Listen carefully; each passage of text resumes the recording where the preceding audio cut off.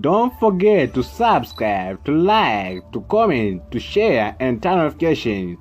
UEFA Europa Conference League qualification matches will continue today with a game between Kaiser La- Lazar from Kazakhstan versus Osijek from Croatia, and this is first leg match. So as long as we have first leg match, let's expect a second leg match.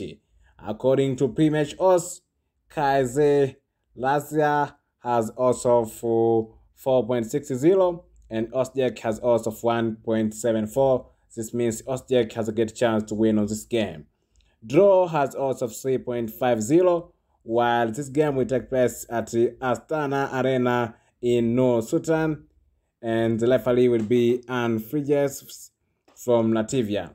On other side of head-to-head matches, there's no information for head-to-head matches between these two teams, so we jump forward on last matches for each team. Let's start with the last matches for Kais Lazha, whereby in the last five games, Kaiser Lazia managed to win in one game. There's one draw and three loss. Bad performance. Last matches for Osijek in the last five games, Osijek managed to win in five games. That is the best performance and wonderful performance from Osijek.